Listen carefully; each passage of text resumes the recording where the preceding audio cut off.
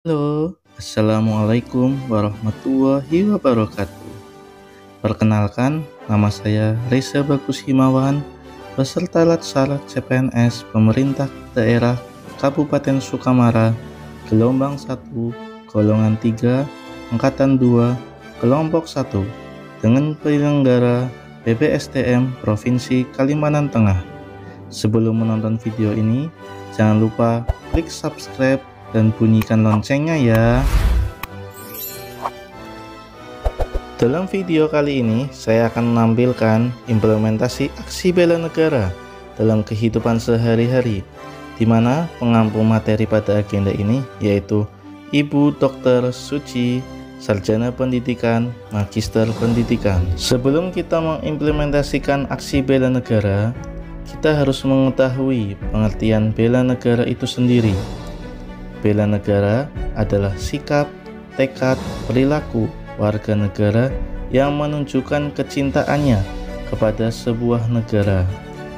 Bela negara bukan selalu diartikan mengangkat senjata untuk berperang, namun melakukan hal-hal kecil untuk kebaikan di sekitar juga termasuk bela negara. Berikut contoh perilaku bela negara yang akan saya terapkan dalam kehidupan sehari-hari. Selamat menyaksikan. Cinta tanah air, yaitu dengan menjaga tanah dan perkarangan serta seluruh ruang wilayah Indonesia. Aksi bela negara yang saya lakukan adalah menyapu halaman serta menjaga dan merawat tanaman sadar berbangsa dan bernegara, yaitu dengan menjalankan hak dan kewajibannya sebagai warga negara sesuai dengan peraturan perundang-undangan yang berlaku, seperti memakai helm saat berkendara dan disiplin dalam menjalankan tugas.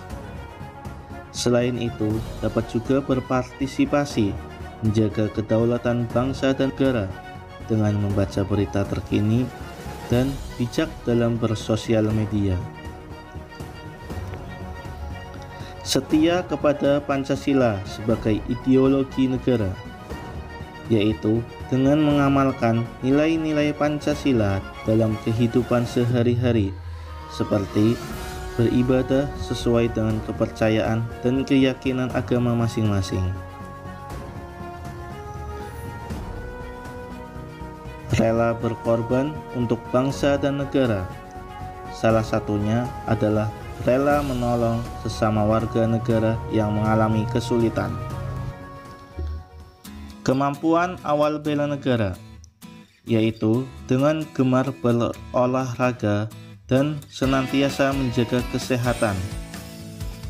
Aksi bela negara yang saya lakukan adalah bermain badminton atau bulu tangkis serta bermain tenis meja bersama teman-teman. Ya, itulah tadi implementasi aksi bela negara yang saya lakukan di dalam kehidupan sehari-hari. Dan juga bagian dari implementasi fungsi ASN, yaitu pelaksana kebijakan publik, pelayan publik, serta perekat dan pemersatu bangsa. Terima kasih telah menyaksikan Semoga dapat menginspirasi kalian semua. Saya Reza Bagus Himawan, saya Indonesia. Sampai jumpa.